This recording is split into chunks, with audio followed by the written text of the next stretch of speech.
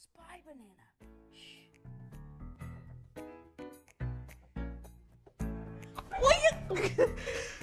I'm a spy. I'm a spy too. And here's a secret message.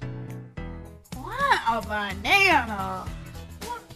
It has a message. We love playing spies.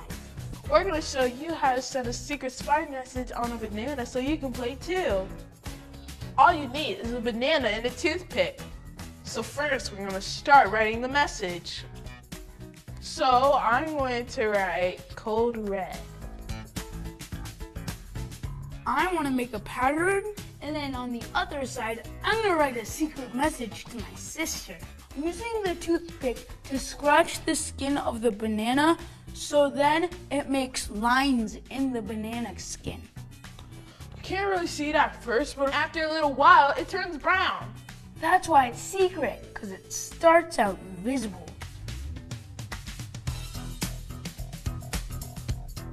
You can write words or you can draw a picture. We made some earlier and you can see they turn brown.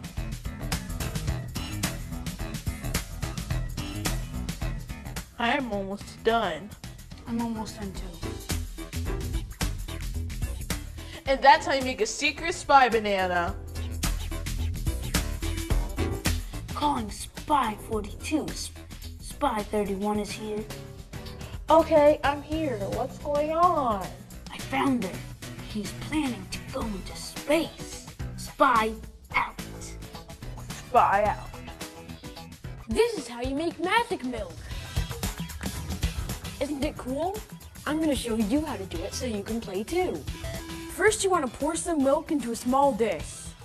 You don't need a lot of milk. The best thing to use is whole milk because it has the most fat in it. Then you add a few drops of food coloring. Use all the colors that you want to see swirl. This is red. This is blue.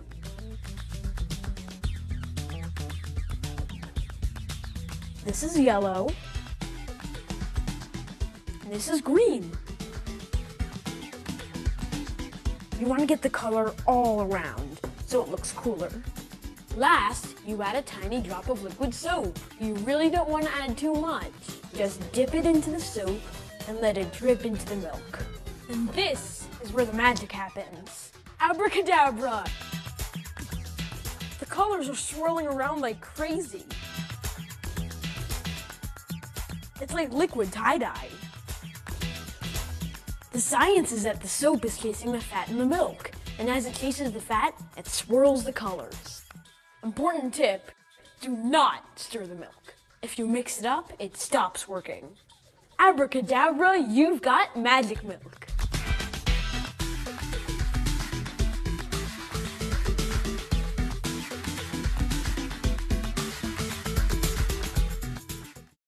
How to make raisins dance.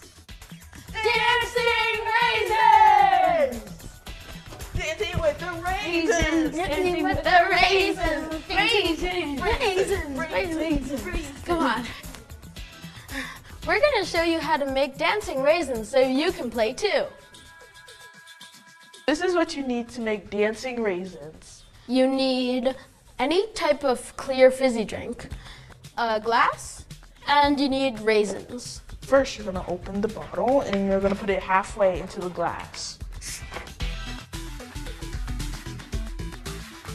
Any liquid that's bubbly is called carbonated.